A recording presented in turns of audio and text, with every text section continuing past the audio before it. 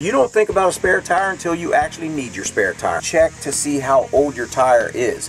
Your average trailer tire is going to last about maybe four to seven years depending on the climate and where it's at, if it's in a lot of sun. You can't really tell by looking at a tire whether it's good or not. You can look at this tire here and see it has lots of tread, it looks really decent, it looks good. Tires dry rot over time. You want to look at the manufacture date on the sidewall of your tire. You'll come over here, there's a DOT, that's Department of Transportation, and then there's a series of numbers, and you'll come over here and there's a 5009. That stands for it was made the 50th week in 2009. This spare tire is no good. We pulled this one out of the shed, it's been sitting for a while, so it's time to replace this tire because it's not even considered to be a good spare tire. So you'll want to check the dates on your spare tire, your trailer tires, Make sure they're all within the four to seven year window. Look for dry rot. Look for any kind of damage because the last thing you need is for your tire to blow out and you to be sitting alongside the road.